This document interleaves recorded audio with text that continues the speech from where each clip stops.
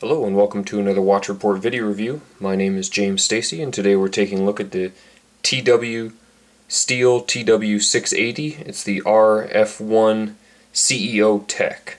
Uh, it's a quartz chronograph uh, from our friends at TW Steel. Let's take a look. So what you're getting in this is a 44 millimeter wide case. It's, it's 14 millimeters tall. It runs on the OS25 chronograph movement from Miyota. It gives you a, a standard chronograph with a 1 uh, 20th resolution. It has a date display. The case is made out of 316L stainless steel. And uh, you get a sapphire crystal with what appears to be an anti-reflective coating, which is what you see this kind of bluish haze, but that isn't listed on TW Steel's site. It's 100 meter water resistant when you have the crown screwed down and it comes on this lovely dust resistant silicone strap. This retails uh, through TW, TW Steel's partners for 750 US dollars. So on the TW680, uh, what you'll find is a great level of detail.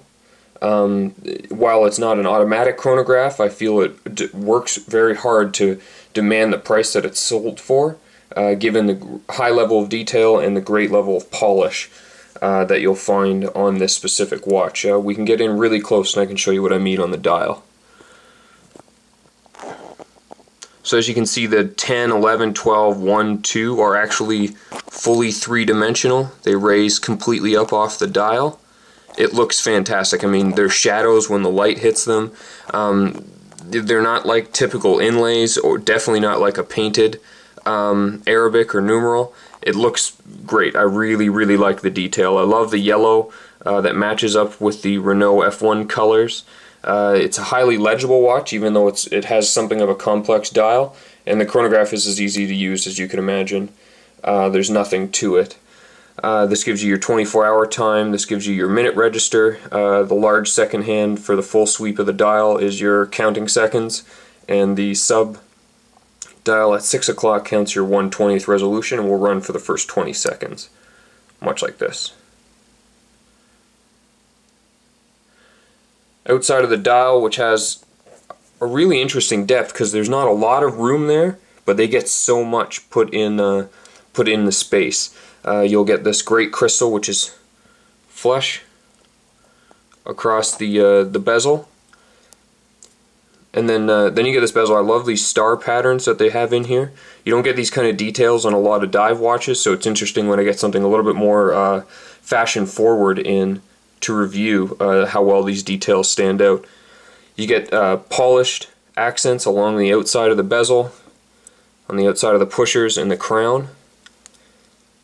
Uh, the one Achilles heel of this watch is there's no luminous paint. None of the yellow you see on the dial glows in any way. Um, it's a detriment to the watch in that it would have been nice to have, but realistically, given the space that's there, there wouldn't have been a lot of lasting glow, so I can see them making the decision not to put any uh, luminous paint on there. We're going to go ahead and take a look at a wrist shot. Okay, so here's the TW680 chronograph on uh, my 7.5 inch wrist. Uh, you'll see it doesn't wear too high, but 14's not dress watch thin. Um, I had no problem getting it under cuffs or sleeves of any type and uh, with such svelte styling and the closed lugs, uh, it really fits just about anything. I'm not sure how TW Steel does it uh, with this watch, but they seem to have made a watch that seems to adapt to anything uh, that you decide to wear it with. This watch is obviously fine with jeans and a t-shirt. Um, I, I, think you could wear it with a suit. And uh, to be honest, with its kind of sporty styling, I, I, I, don't think it would be out of place on, uh, you know, like a flame retardant race suit. It, it looks like something you would have seen an F1 driver wearing or, or uh, keeping with his person. It's got great style. You get this nice clasp, which has uh, it's assigned and it carries over that star pattern from the uh, bezel set. And I really love the rubber straps. Obviously, I'm a huge fan of rubber straps. If you read uh, read any of my reviews or seen any of these videos, um, but this one's especially good as it doesn't seem to attract any dust, um, which is really nice. So for Watch Report, my name is James Stacey, and you've just watched the review for the new TW Steel TW680 RF1 CEO Tech chronograph.